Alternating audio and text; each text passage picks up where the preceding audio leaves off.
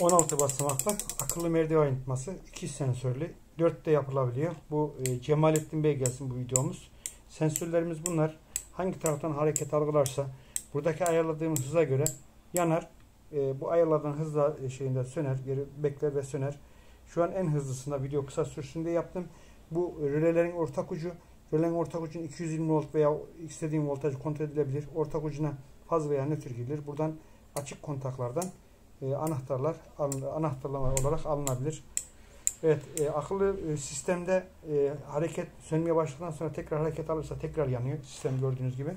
Şu an hareketsiz kalmaya çalışıyorum. Beni gördü sensörler. Nereden başlamışsa oradan söner. Ama sönmeye başladıktan sonra hangi sensörden hareket algılarsa oradan tekrar geri yanar. Evet şu an bekleme safhasındayız. Gördüğünüz gibi sürüye hareket vermezsek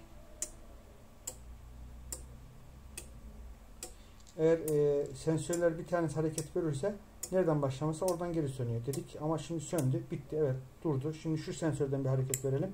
Gördüğünüz gibi buradan hareket aldı. Demin buradan almıştı. Şimdi tersten verdim harekete. Evet gördüğünüz gibi ayarlanan süre zarfında tekrar sönüyor. Eğer şu durumdayken hareket vermeyeceğim, e, verirsem tekrar hareket alır. Tekrar yakmayı durdur, söndürmeyi durdur, tekrar yanar kimse karanlıkta kalmaz.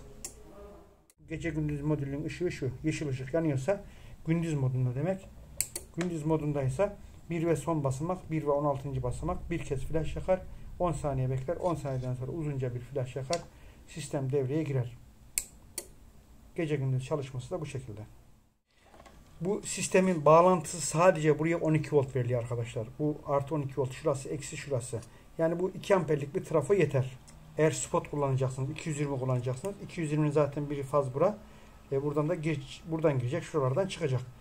E, sadece e, sistemi çalıştırmak için 2 amper 1 amper trafo yeter. Ama e, komple röleyi e, led trafosu olarak led olarak kullanacaksınız çıkışları. Bu kez led e, uzunluğu kadar 20 amper 30 amperlik bir trafo kullanabilirsiniz. E, güle güle kullanın.